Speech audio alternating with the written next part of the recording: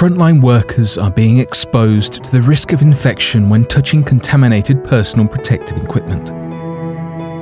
Molecular Plasma Group have developed an innovative solution.